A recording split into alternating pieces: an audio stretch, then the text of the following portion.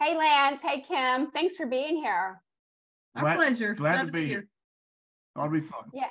Yeah, you're one of uh, one of my favorite couples, so I'm really excited to have this conversation. And the way that I would like to do it is the way that we do all of our recordings, and I'm going to read the bios that y'all provided, and um, and then we'll just give you the opportunity to add anything else, and then we'll talk about um, how we might have known each other before this recording. So let me get started, and I'm going to have to bend over, then lean over to read off the computer here. So I am going to read, let's see, Kim's bio first. Uh, Kim graduated from Bowling Green State University, located in Bowling Green, Ohio, in 1982 with a Bachelor's of Science in Education. You were a substitute teacher, coached, and you waitressed for three years. You hired on at the Dallas Police Department in August 1985. You promoted to senior corporal in 1991, and you trained over 60 recruits during your career. You're married to Lance, um, married in 1992. You met him at Northwest Substation while he was a rookie. Lance is six and a half years younger, and Lance thought that Kim was too old for him. Lance, Lance. Not big of a difference, right? 20, everything worked out fine. until he learned that Kim had a house and a boat and worked extra jobs. we had to throw some humor in there. Yeah. Yes, and other officers will definitely understand that. Okay, so you had a son who was born in 1980, 1995 and a daughter born in 1997. Both graduated from Texas A&M. Your son is married and is a C-130 pilot in the Marines. Your daughter is the connections coordinator at her church. You retired from the Dallas Police Department in June 2017, two months short of a 32 year career in law enforcement. You retired because you had to have two complete knee replacement surgeries, and the recovery was a long process. You still enjoyed working patrol, but it was becoming difficult to walk up and down the stairs, and you didn't want to work behind a desk. You love retirement. You stay busy with yoga, weightlifting, cycling, yard work, and traveling. And you also enjoy playing with your two Scotties, Hondo and Rooster. yep. So, time. okay, so that was Pick one of 'em Kim's bio. And let's picking up one go. of the dogs here real Let's quick. go to the young man's bio here. Oh, here's So here's this- here's Rooster. Oh, Rooster. Oh my goodness. Okay. Okay, so Lance, the first thing you put on here is that you're 57 years old and you've been married for 31 years. I got that You have two children, Ty and Kelly. Ty is married to his beautiful wife, Catherine, and lives in San Diego. He's a captain in the Marine Corps where he flies a C 130. Kelly lives in Fort Worth and is the connections coordinator at Grace Point Church in Coppell. You retired from DPD in December of 2020. You hired on DPD June 1988. That's the class of 207. You worked Northwest Patrol, you were an FTO, you were in deployment. You were a class advisor for recruit classes 285 and 292. You're a patrol rifle instructor. You taught officers safety and survival and felony stops at the academy. You were in the police honor guard for nine years. You were born in San Antonio. You graduated from Marion High School in 1984, graduated from Sam Houston State in 1988. Um, and then you hired on in the same year, made you one month later, and you were only 21 years old. Yep. Just So- a baby. Just a Just a baby. baby, a baby. Is there anything else that y'all want to add to that um, biography? I, I can't think of anything. Not No, off I- the top of my head. Hers flowed a little better because I figured she was going to have all the other stuff in there. I just had to put some facts in. So, yeah. well, thank you for that. And so the way that I know y'all, I met both of you at Northwest because I when I got to the academy, I was assigned to Northwest as a rookie.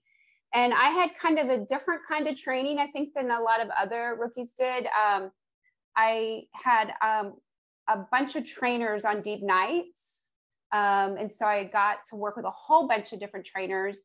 Y'all, neither of you were my trainer. I, I, don't believe that either of you were training yet. Lance, you were a little bit ahead of me. Um, and Kim, how I know you is from the locker room.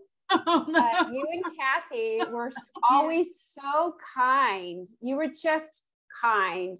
And then how I really know you is on my second phase training. Um, I had Strody as my trainer in West Dallas. And I remember the car chases and the foot chases. And I would get ready to bail out when you were on the ground behind somebody. And Strody would say, Get back in the car. We're just going to meet her when she runs him into the ground. and I was like, No, we can't do that. I've got to stay with her. He's like, You're not going to be able to stay with her. Get in the car. And anybody who knows Strody knows, I mean, that man is one of the biggest men I've ever known, right? And Kim, you and I, we're not very big. In the big scheme of things, we're not very big, right? That's true. So to see you just chasing people into the ground was always a highlight of my career, even though I'm sitting in the car, right? But um, because we did, we would just follow you in the car and then you would chase them down and then they were tired and we would take them into custody. It was it was a great plan. It was a group effort though. I have a funny story about you when you were on training. oh no. With with with Strody. Okay. It's a good one. It's a it good better be good, Lance. I laugh back now. When you were you and you and Fit y'all left the station after detail, got into a car chase with a yes. car, but it ended up north on Chapel Creek. Mm-hmm. And I was working with Steve Hall at the time because my, mm-hmm. uh, I think Egg was my partner then, but he was off. For some reason, I was working with Steve. And we, of course, back then, car chases, you had 20 cars in it and a lot of fun. And long story short, chase was over with. And when the, the guys bailed out and Steve tries to physically stop the car with his hand because it's rolling. He can't do it, and it ends up crashing into our squad car. We catch the guys, but later on, I read, and it was a juvenile.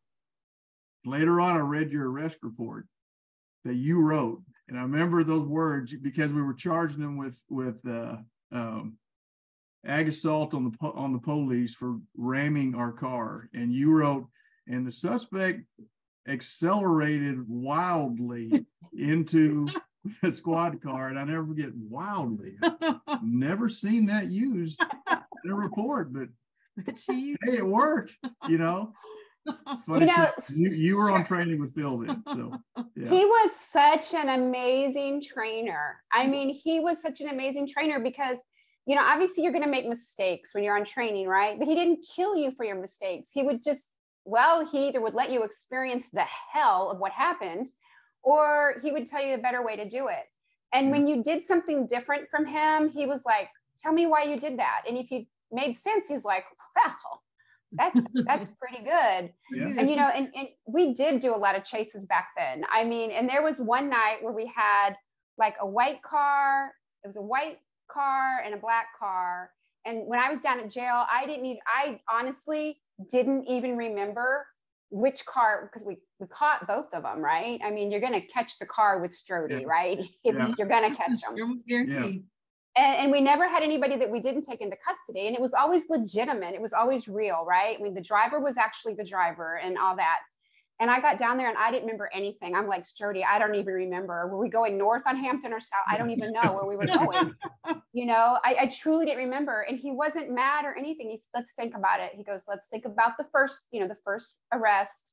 Let's think about the second one. And that really helped me a lot to realize that just be methodical. Mm-hmm. Just do police work.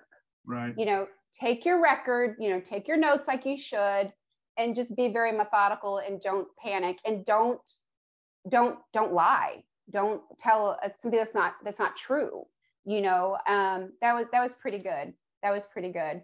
So we do have a lot of stories about um, West Dallas. yes, yes, and uh, it's really funny because when I hear people tell the same event that I was at, it's so interesting to get it from their angle. You know, their physical angle or their mental angle, their emotional angle, where they are in their career.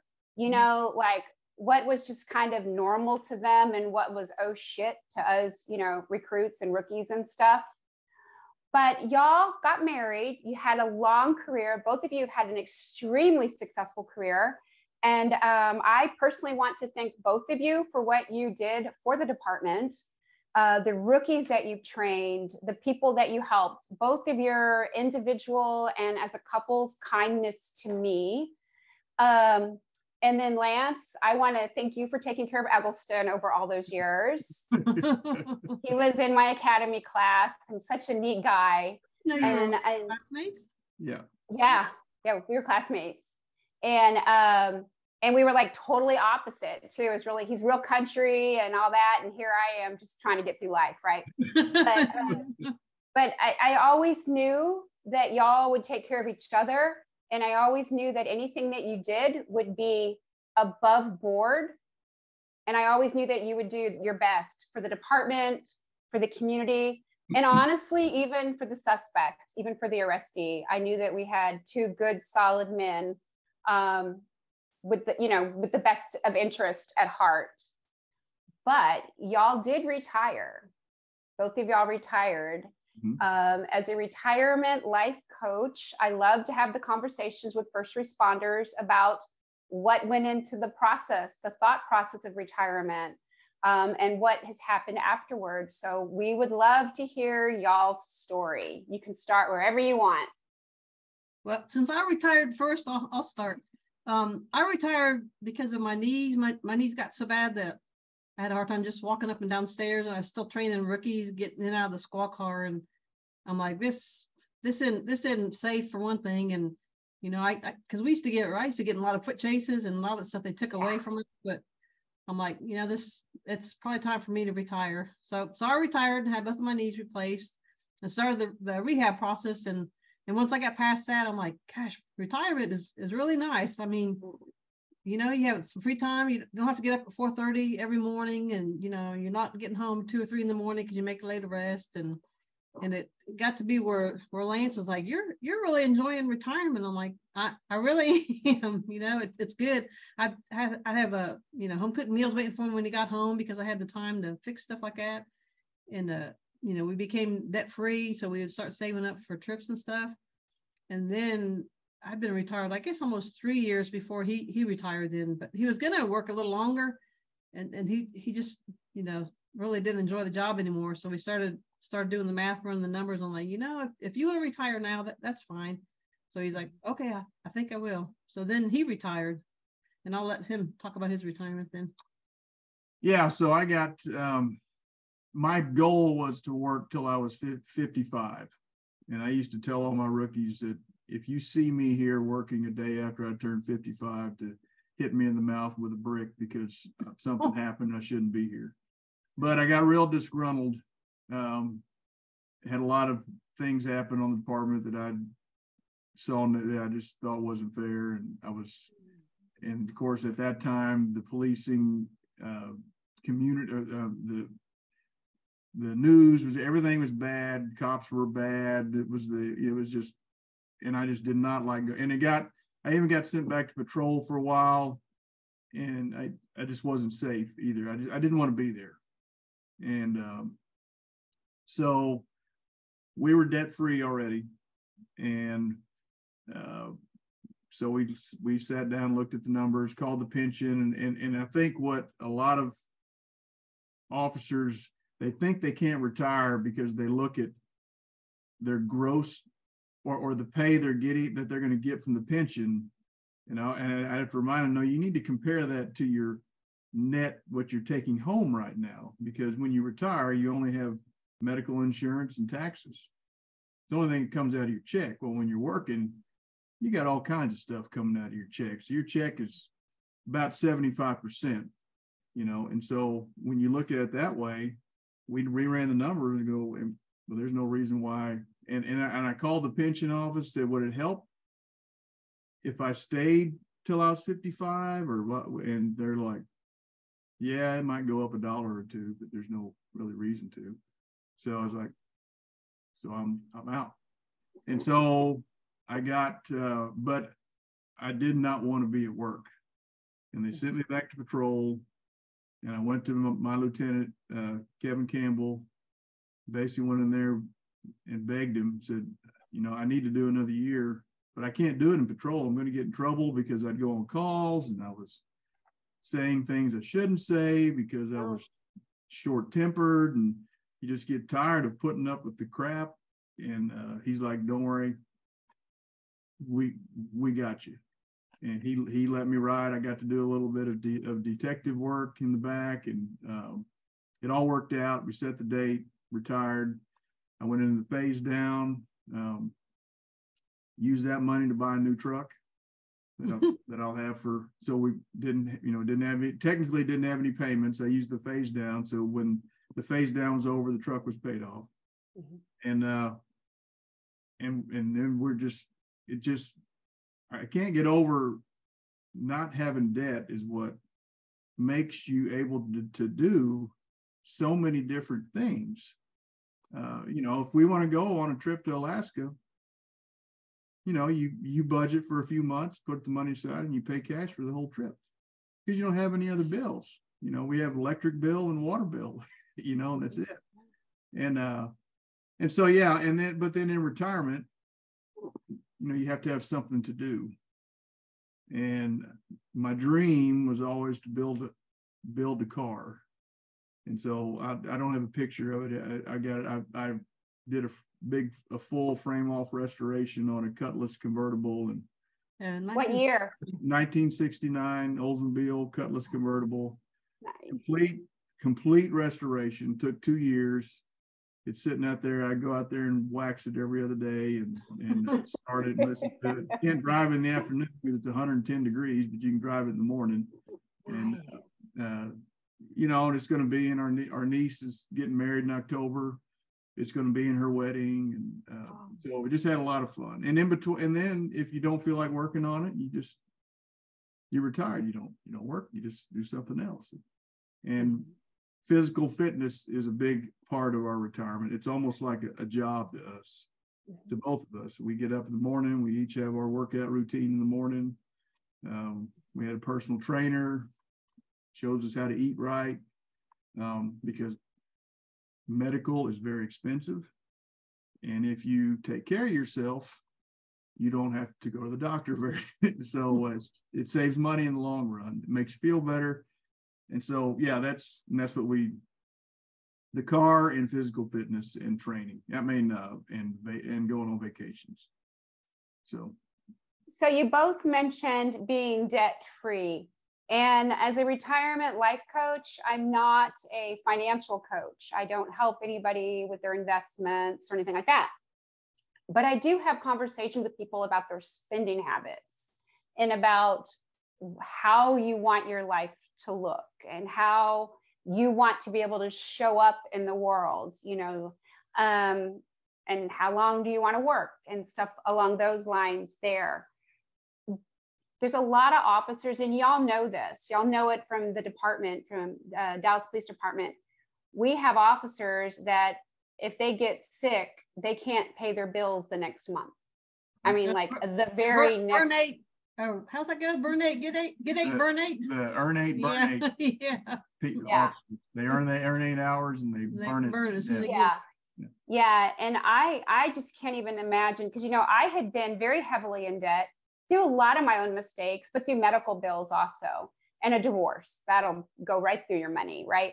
Mm-hmm. But I just can't see living that way long term and so many officers our age are like i have no there's no end in sight for re, for working because they owe so much money and i have to be honest a lot of that is their mind frame it's the story they're telling themselves because if they got out of that negative way of thinking they could actually start taking actions to become debt free.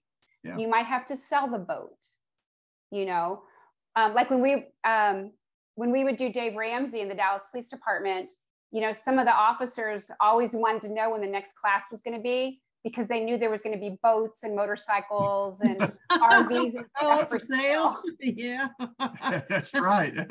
yeah, yeah, about that. Yeah but you know, is, is, it possible that if y'all weren't debt free, that you would not have been able to retire when you did? Uh, I mean, we not. I mean, we can what what well also, afford some debt. Yeah, but what also helped us, we did the Texas Tomorrow Fund College for the kids. Yeah. You know, as soon as they were born, we started that, and that was a big help because we knew their tuition would be paid for, and and yeah. then we also both had you know, our 401s, 457s mm-hmm. going. And so, you know, that's like play money. Almost like bonus money. And then you learn to live off of your pension. Mm-hmm. We do pretty darn well. Like love that. it. And, but but but yeah, it just uh the 401, 457, Roth, whatever you have, I, which I always think I wish someone would have told me about a Roth 20 years ago. But uh, um, that's play money. That's if you think of that as because that money that's not, you know, it's going it that, that that's a pot if you keep taking out of not a lot's going back in, especially in the stock market, you know. So uh, uh but yeah, I mean, we probably could have, but it would have been a little more difficult. Would have been difficult. But plus, I think once we realized we were going to retire, we we loaded up on extra jobs because we're like, you know, once you once I you went re- there and bought as many guns yeah, as I could. Yeah, once you retire, you don't get the extra cash like you used to. So had my list of guns I wanted to buy, worked at paid cash for them, and now I yeah. got them all. So listen, Lance, you're not allowed to talk to Todd, okay?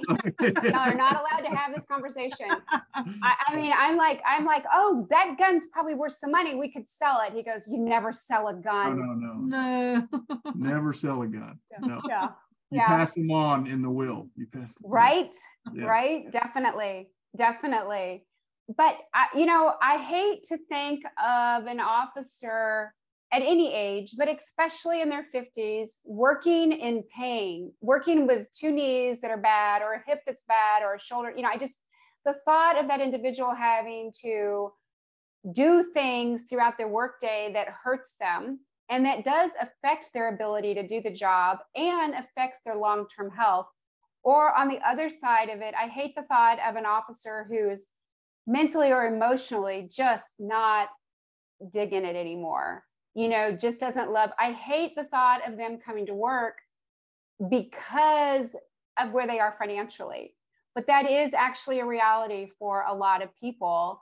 And, you know, all we hear about is investment, investment, investment and it's not very many departments or very many individuals that talk about lifestyle how you know you can change your lifestyle and also create more wealth out of what you're earning and i laugh when y'all say extra jobs because it wasn't that i was working a lot of jobs when i left but i was doing a lot of overtime and it, i had a very good overtime rate you know just like y'all it was a yeah. lot of money right yeah and I, to this day, when I look at something, I'm like, oh, that's two hours of overtime. yeah. Or, oh, that trip, that's just 10 hours of overtime. And then I have to realize, oh, there is no overtime. There's no overtime anymore. Nope, that's gone. That's good. gone. gone. Um, so y'all mentioned that you the physical fitness and the and, and what y'all do. And mm-hmm. I know that I don't have to tell y'all this, but maybe some people listening don't realize, you know, how important it is to stay in shape. Um, physically, you know, you're doing all you can to ensure a, a longer life, a longer life with mobility and strength and balance. Um, you mentioned that we don't want the doctor bills and stuff.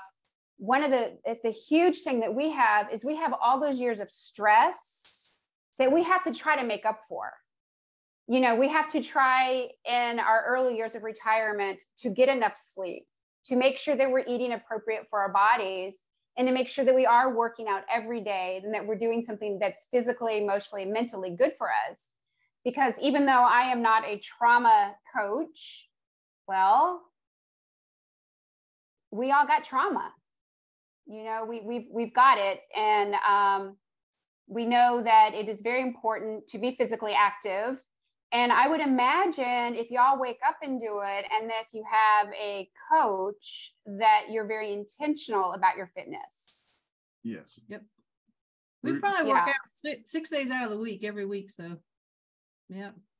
And there's a community thing to it. You're you're Oh, the camaraderie and stuff like at yoga is class. the people you're working out with, they're trying to stay healthy. It's so usually happy, fun. You cut up, have a lot, and, and it's there's a mental thing to it also. You know, Yeah. Yeah. Kim, you mentioned you do yoga. That I do. It's fun. Is, is that anything that you 20 years ago were you doing No, yoga? I mostly started it because of my knees, and I, I didn't realize how hard challenging yoga actually is. But it's you know the older we get, I mean, I have a phenomenal instructor. I call her Maria, the miracle worker. um, I even did But it for yeah. a little while. it, it's You really want to see that? It's pretty. Um, I go to a yoga studio that doesn't have any mirrors. So you never know how bad you look. You just think that you're rocking it. So um, I do yoga. It's I have a funny little story about it. Um, I um, I still have my essential oil business, and a lot of the people that go to this particular yoga studio also do um, essential oils and stuff. And I have a friend of mine owns it, and she invited me in, and so I went in and I did it, and I enjoyed it. And I know that I need the flexibility, and I know that I need the balance. And I know they say don't do yoga for flexibility, don't do it for balance, but it, it is it is what it is. It helps me with my flexibility and it helps me with my balance. Mm. So then I registered for a hot yoga class, right? Because I like hot yoga. If I'm going to be in there, I'm going to burn some calories, you know, I'm going to get something out of it. Well, it turned out it wasn't a hot yoga class. It was a yoga class called yin yoga and yoga nidra. And what that is, is you literally get into a pose, you get into a stretch Mhm. and you hold it for three to five minutes. And That's a then you go to time. the other side. Yes, it's a very long time. Yeah. I was on like the third or fourth stretch and I realized this is not hot yoga. That's not what you thought you signed up for, right? I don't know what this is, but this is not hot yoga. And I, I will go as far as to say that it was life changing because I loved it. oh, And Oh, I did. I absolutely loved it. And when it was done, I'm like, oh my gosh, this is what I've been needing. This mm. is because it, it, you know, it has some brain, mind, brain connection. Yogis are probably rolling their eyes when I'm talking about it this way. yeah. But the slowness of it and the stillness of it um, and the breathing in it does some stuff for your mind and all that. Hmm. And um, that's almost the only yoga that I do now. Yeah. Des Marie. And- I know. Yeah. and I thought I was gonna go to hot yoga because I've done hot yoga for years and I really liked it. And that, yeah, this is great. This is absolutely fabulous, you know. And again, it's just very deep stretches for three to five minutes at a time, and you practice on your breathing. And the instructors that I go to, they talk to you while you're doing it. Mm-hmm. And some of it's guided and some of it isn't, and some of it's just quiet. Some of it's just stillness. When did they I, you know, I used to wear a heart rate monitor to yoga. Okay. I wanted to burn Yeah. calories. you weren't burning a whole bunch doing Did they, that though. did Yeah. they bring any goats in? Were there any goat? Is this a goat yoga thing too? I have done baby goat yoga. I will be the first to admit I did not get much yoga done because I was too busy playing with the goats. Yep. I, that might not be for me because it might be too, you know, I might be too busy Yeah. playing with the goat or, you know, calling them over to me or whatever. So, yeah. Yeah. Um, so what do y'all see next in retirement? You're both still young, you're healthy, the kids are successful, you're debt free. No, we What's actually have a, next? We have a trip planned next month. We're going to the glaciers in Montana with well, Oh. Maria, my yoga instructor, and her husband. They're big hikers. We'll be gone for almost three weeks, and then uh, we hope to do Machu Machu. I can't Machu. Picchu. Machu Picchu next May. So So we're trying to, you know, because you're in working as long as we did on the police department, you see a lot of horrible stuff. see a lot of officers who died at a very young age. You see officers that retire and have heart attacks, and and and you you learn that you're not guaranteed tomorrow. Yeah. So you need to enjoy yourself within reason. You know, don't don't go to Rio tomorrow, uh, unless you but unless you want to cash out. Anyway, anyway, but but I'm saying, so we're so we try to find things that we really love to do, and, and I used to joke with Kim is like, you know, would love to do Machu Picchu early because I doubt we'll be doing it when we're in our 80s. Probably not. you know, so let's do some of these things now while we're physically able to do it and enjoy it, you know, and then and then we'll just take it, you know, one day, one year at a time. Um, uh, you know, I, am not ruling out getting a part-time job at some point down the road. I just eventually you get to where you get everything done and maybe well i wouldn't mind working 20 hours a week mm-hmm. somewhere that i enjoyed and that i get to pick and if someone makes me mad there i can say i'm out. You know? Yeah. see you later. Uh, and and then uh, you know our kids are young and so enjoying time with them. Yeah. Mm-hmm. so and and our son and daughter-in-law live in san diego and that's not a bad place to go to uh to go visit to go visit so uh, go there. Are they on Coronado? Yes. Well, yeah, he's yeah he's stationed Coronado with the yeah. No, he's stationed at Miramar. Oh. It's the Marine Corps base. So okay. Coronado is a Navy base, I believe. I think. Uh, if we could, we would move to Coronado. Well, San Diego is. Yeah, the, it's beautiful. Say what you want about the yeah. goofy politics over there, but that it's just gorgeous there. That's the only problem. I mean, the problem yeah. is it's California. yeah. But you see why people put up with it because it's the you know Absolutely. the most boring job in the world is the weatherman in San Diego. I mean, it's yeah. 81 degrees all the time. You know, it's funny because you and I we were um we were talking about if there's something that you really want to do, you shouldn't say never. You should just plan for it. Yeah. And the other day, I uh, we were driving back from Colorado, and I asked Todd. I said, "Babe, I said, do you want to after you retire, the first summer after you retire, do you want to find a place on Coronado and, and rent it for a couple of months?" And he was like, "Oh, we could never afford to do that." Blah blah blah. I said, "Well, you know, if we start looking for it now, putting the word out, maybe we can house sit for somebody." You know, I mean, there's things that you you got to get creative with it. You know, I mean it is very hard to find rentals there. It's very hard to find any place that's going to let dogs come there. But that doesn't mean that I want to say no to it. So, mm-hmm. you know, if we start thinking about it and start putting the word out, you know, maybe it'll happen. You know, maybe it'll if happen. You want it to happen. If you think about, I mean, you'll have your eyes open, you'll watch website, whatever. Eventually, yeah. after he retires, who knows? Maybe it will pop up. Look, there's someone looking for someone to house sit for a month. Yeah, and think about it. Two cops, right? They can they can two yeah. cops. We don't need fancy. I don't need big and fancy. You know, we do mm-hmm. want indoor plumbing, of course, but I mean that's not you know it's not fancy.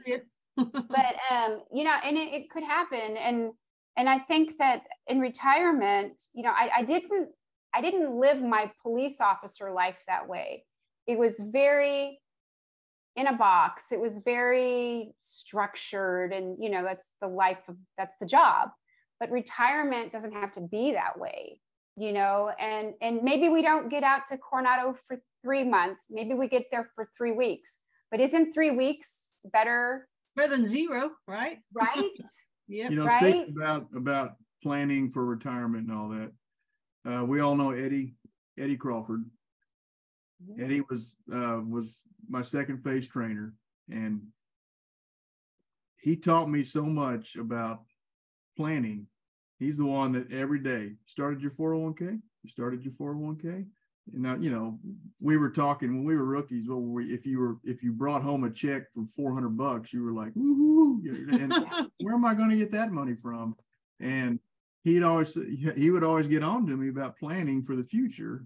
And he's like, you know, start it now and and then this will open up everything to you when you're in your 50s and and that's what we did you know and uh, uh, uh and it worked you know it enabled us to leave you know i could have I could have stayed till I was 57 or something, but there was no reason to. So, No, your car needed Yeah. you. and I wasn't happy. That's He was grumpy. Yeah, was not happy at work.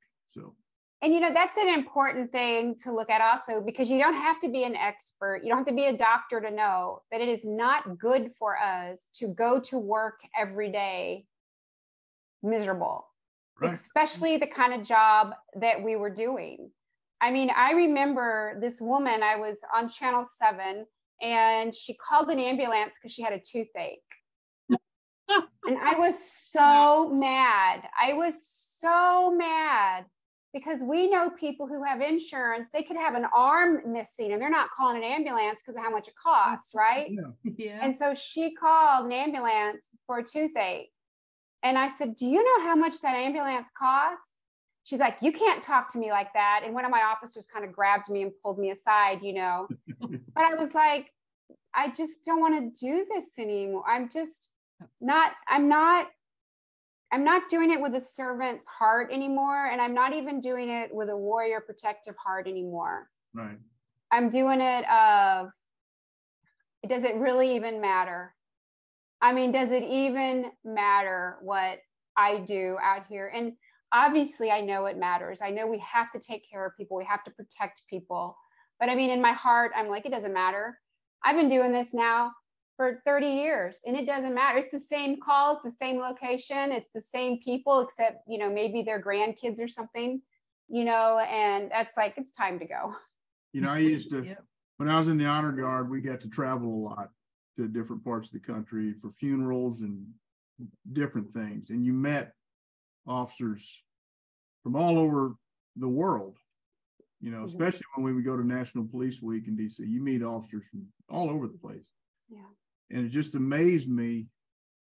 You could sit down and talk to uh, a trooper from South Carolina or a city cop from some small town in Montana, and your stories were always the same. The same thing. Yeah. they yeah. were always the same every time, every time, and you just And yeah. crazy. No matter where you go, you can drive down the street and you can go, well, that's a prostitute. Yeah. Well, how do you know? I'm like, well, mom, I'm not judging her. I'm just saying that's what she's doing. She goes, well, this is. San Antonio. I'm mom. It's like, mom, it's the same no matter where you go.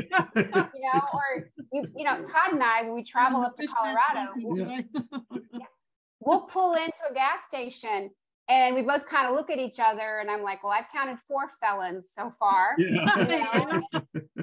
it's just it is it you're right it is what it is in those stories you know um But you know, we getting carry him with us getting to, I mean, how bad it was at the end. I remember listening to when, when you and Pam were talking, and we were li- we we were listening to y'all's uh, to your video, and and it's true when we were all rookies, you did not want a day off. You had so much fun. And I, I used to joke if my sergeant Bud Green would have came to me and said, "Lance, you did such a great job. You're going to get Friday and Saturday off." I'd go, "What are you punishing me for?" I want Tuesday and I only want four hours off. I want to work the rest of the time, and you don't have to pay me, you know, Yeah. because we had and people look at you like, "Really?" Go, "Yeah, we had so much fun. so much fun." With everybody and the practical jokes and and the work, but I'm just saying, you just love going to work, you know. And uh, um this might have been your chase i'm not sure whose it was because i left work early right i was actually on training and uh, my ex-husband wanted to take me to a janet jackson concert okay, and I wanted to go to Janet Jackson, but I didn't want to miss work. But anyway, I was persuaded into doing it. And I went to the sergeant and I'm like, listen, you don't have, and my trainer, I'm like, you don't have to let me off. Okay. You don't have to let me off. It's okay. I, you know, he's like, no, it's okay. Blah, blah, blah, blah, blah, blah. And so I left work a couple of hours early. And there was like a two and a half hour car chase that happened that night. I was so mad. I never ever volunteered to take off ever again. It was like years. I think it was like when I got married for my honeymoon, I took off. I mean, I just like did not want to take off. I didn't want to take off. Miss out. Yep. yeah, and we both we'll still sit around and talk about that. How it just and average people don't understand that. That it's and I mean, you know, I used to tell rookies in the academy when when you know when I was teaching about how you're going to start a job here where you will be it'll be Christmas Eve 25 degrees sleeting it'll be 2 a.m you're on the freeway with icicles frozen on your nose slipping falling can't feel your fingers and having the best time of your life yeah your your pen won't even write. You, you can't even write. Yeah. No, yeah. because your pen froze. You know, but you're having the greatest time in your life because you're out there with all your friends being miserable together. So you're enjoying it's it's fun, you know. So and that's what is so hard for our brains because at the same time you're doing that, because I left Northwest not by choice. I was drafted to North Central. I worked there six months and I worked out a trade to go to Southwest and I hit the ground running and never looked back. I loved it. But that was in the early 90s. And we all know how many homicides we had in the early 90s. Yeah. And mm. so it is so crazy because on one side of me, I'm like, oh my God, it was the best thing ever. It was so fabulous. But then on the other side of me, I'm like, I watched three teenage boys die that night. And yeah. then the next night, I watched one who was shot in the head. And then the next night, you know, blah, blah, blah. But man, this was, you know, chasing the shooter was fun. Running down the alley after the bad guy. I mean, oh my God, what were we thinking? But you know, um, running down the running down the alley with the armed bad guy who just yeah. shot the guy on the ground was fun. yes. Adrenaline dump. So fun. Yeah. Now it did change for me when I had children. Yes. Yeah. When I had children, it was not as much fun. And i do believe that we made a lot better decisions of our with our driving and i think we made a lot better decisions on the alleys. We still did it but i think it um, i think it mattered more. And i'll be honest it was always bad for me to see those young boys laying on the ground the teenage boys um, on the ground. But as a mother of two boys that really changed for me when I had boys. Right. And you know, that that changed for me. But it does not take away from the excitement and the fun and the need to always have that adrenaline in our life. yep. You know, when I was another thing, just when I was teaching, I read a lot and you learn about the average person only has an adrenaline dump maybe twice in their life, you know, and we would have once a week, once a week, twice a week, you know, and you get yeah. one and more, you know, and it, yeah, yeah. So. And sometimes it was such an event that it affected you for days. I mean, Yep. like like days you know you go into survival right afterwards and you don't really you know you're not thinking about it but it, it's there it's still there those chemicals are still coursing through our our veins hence why it's so important that we are working out now and that we are not you know drinking and using illegal or even legal drugs and, and stuff like that. Right. So here comes the big question. Todd likes me to ask this of all of our guests. How does kim want to be remembered? How does lance want to be remembered? And actually as a couple if you wanted to answer it as a couple we would love to hear that also but how would each of you like to answer that question? How would you like to be remembered? Probably as a, a fair and kind person, a good mother, a good wife. We try to, you know, be good role models for our kids because mm-hmm. um, our son's married, our, our daughter's not, not yet. Um, but that, yeah, that's probably good, a good father. Yeah, and a good husband. I want to be someone that uh, uh, our kids are proud of. Basically, what it comes down to. Yeah. Love that. Love that. Well, thank you for sharing everything that you shared today. And um, I will have it in the notes that if anybody wants to get a hold of y'all, they can get a hold of me and then I will give y'all their information. Yeah. Um, since you don't have, you know, since you don't have businesses and since you're not serving the public in a way with a public contact, I'll just have them go through me.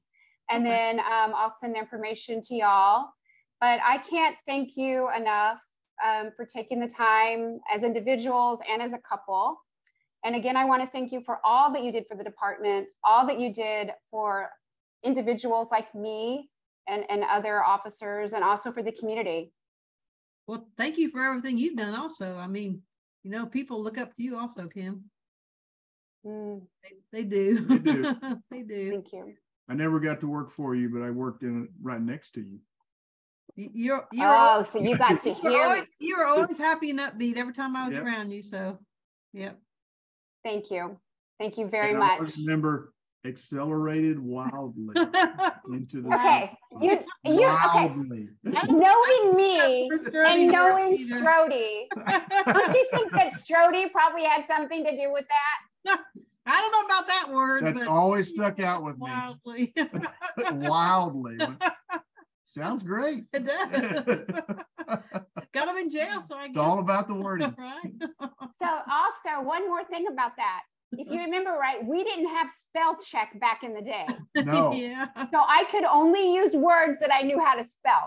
Oh, there you go. That's exactly right. So Yes. there were many a times when I would say, hey, what's another word for, you know, this? Because I don't know how to spell it. So yeah.